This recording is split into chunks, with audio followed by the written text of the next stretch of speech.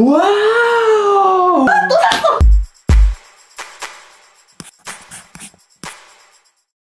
안녕하세요. 잇섭입니다. 오늘은 요청이 많았던 한성 키보드를 리뷰하려고 했으나 오늘 따끈따끈하게 출시한 갤럭시 탭 S5e를 unboxing 해보려고 합니다. 따로 이걸 구입해서 리뷰할 생각은 없었어요. 근데 리뷰 요청이 많았기도 하고 오늘 자고 일어나서 보니까 오늘 딱 국내에 출시했다는 소식을 듣자마자 바로 사왔어요. 이 제품의 가격은 64기가 와이파이 모델이 49만 5천원 그리고 LTE 모델이 53만 9천원입니다. 근데 온라인에서 쿠폰을 먹여서 사면 벌써 40만원대 초중반이나 후반대로 쉽게 구입할 수 있더라고요. 박스는 스마트폰과는 다르게 흰색 배경에 태블릿이 그려져 있습니다. 밑에는 탭 S5E라고 적혀 있는데 이게 좀 이상하게 생긴 게 왜 S5E인데 E를 5 위에 올려놨는지 모르겠어요. S5가 아니라 E로 출시했다는 것은 약간 플래그십 같은데 중급기 같은데 플래그십 같은 약간 좀 중간에 있는 듯한 느낌을 줍니다.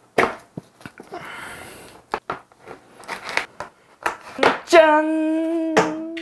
여기서 애플과 삼성의 차이가 애플은 기기를 박스에서 꺼낼 때 투명한 비닐로 되어 있지만 삼성은 약간 부직포 같은 그러한 재질로 되어 있습니다. 고속 충전기, USB 케이블, 마지막으로 설명서와 USB Type-C 이어폰 젠더가 들어 있습니다. 이렇게 젠더가 들어있다. 기기를 보기 전에도 이러한 젠더가 들어있다. 새로운 갤럭시 탭에는 이어폰 잭이 없다는 걸 뜻하는 것이죠.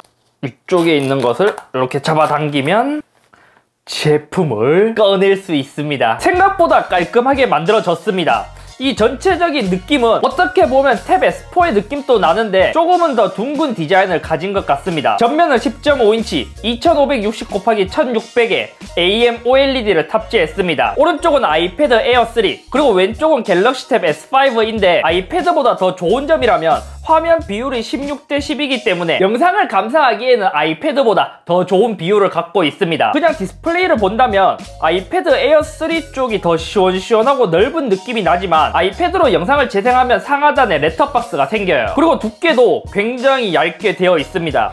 이것도 아이패드와 비교해보면 아이패드보다도 조금 더 얇게 되어 있죠. 게다가 지금 들었을 때 무게감도 굉장히 가볍게 느껴집니다. 물론 400g대이기 때문에 아이패드 미니 5와 비교한다면 좀 무거운 무게이지만 비슷한 인치수의 기기인 아이패드 6세대 혹은 아이패드 에어 3와 비교해보면 인치 대비 무게가 굉장히 좋습니다. 전면은 보다시피 탭 S4에서 보여준 것처럼 베젤이 상하 좌우 모두 동일한 두께로 되어 있고 상단에는 800만 화소 카메라가 탑재되어 있습니다. 왼쪽에는 스마트 키보드처럼 연결할 수 있는 이런 이제 단자가 있고 상단에는 두 개의 스피커와 마이크 그리고 오른쪽에는 지문인식 버튼, 볼륨 업다운, 그리고 유심과 마이크로 SD카드를 넣을 수 있는 슬롯이 있습니다. 근데 이 제품은 지문인식을 지원하지만 지문인식 버튼이 딱 여기 위치에 있어요. 그러니까 어, 태블릿을 사용하면서 지문인식을 하려면 오른쪽에 있는 지문인식 버튼에 손을 올려둬야 되는데 저는 버튼의 위치가 좀 불편해요. 그리고 하단에는 두 개의 스피커 그리고 USB Type-C가 있죠. 후면에는 뭐 그냥 깔끔하게 1300만 화소 카메라가 탑재되어 있습니다. 처음 출시된다는 소식을 들었을 때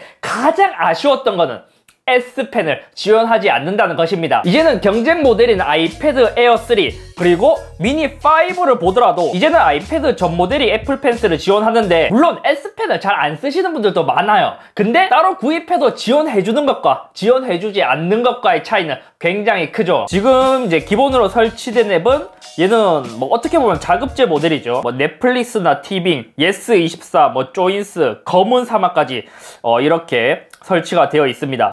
지금 반응 속도나 이런 건 꽤 괜찮아요. 그리고 덱스도 이렇게 하면 따로 모니터를 연결하지 않아도 삼성 덱스를 태블릿에서 쓸 수 있습니다. 스마트폰에서는 사실 그렇게 쓸 일이 잘 없거든요. 근데 태블릿은 확실히 제가 아이패드를 주로 쓰더라도 이렇게 탭에서는 이 덱스가 좀 괜찮더라고요. 문서 작업을 하거나 다른 작업을 할 때 덱스가 편했습니다. 아, 갤럭시 탭 S5E의 단점이 지금 보이는 게 밝기가 실시간으로 계속 바뀌는 모습을 볼 수 있습니다. 이거는 어쩌면 이 양쪽에 베젤이 좁고 여기 있는 조도 센서를 손가락이 가리기 때문에 이렇게 쓰다 보면 지금은 딱 적당한 밝기에서 밝기가 계속 줄어들어요.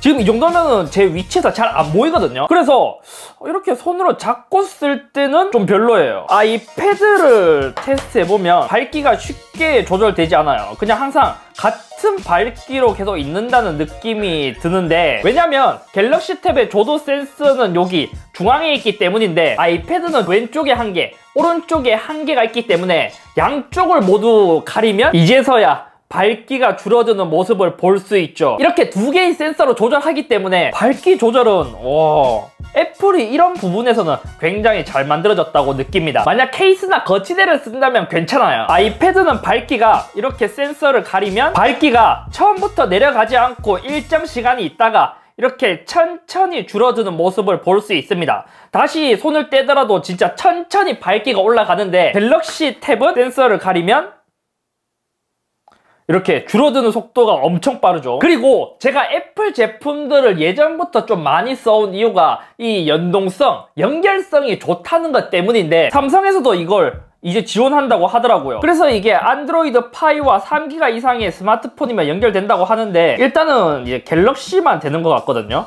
여기서 연결에 들어가면 전화와 메시지 연결성이 있어요. 여기서 요 기능을 켜게 되면 오 아, 같은 삼성 디바이스에서 되는구나. 와이파이 연결 시 와이파이와 모바일 네트워크 두 가지 중에서 선택할 수 있어요. 그리고 요 갤탭에서는 보자. 연결에 들어가서 어? 삼성전자 홈페이지에 가면 와이파이 모델만 일단 가능하다고 하는데 이게 제가 아직까지 기능을 못 찾는 건지 아니면 LTE 모델은 제공하지 않는 건지 제가 이 기능을 찾으면 다시 알려드릴게요.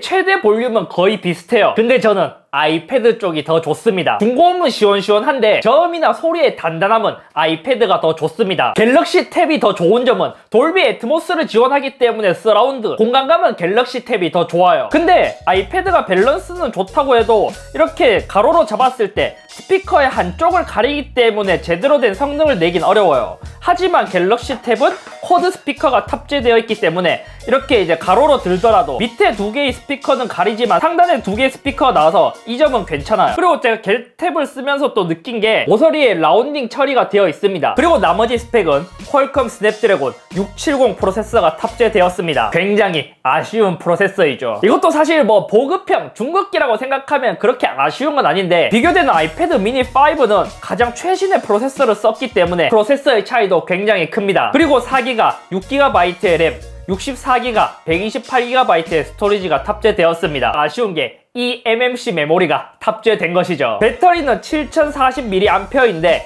요거는 좀 더 써봐야 실제 배터리 타임을 알 것 같습니다. 어 뭐야? 이야.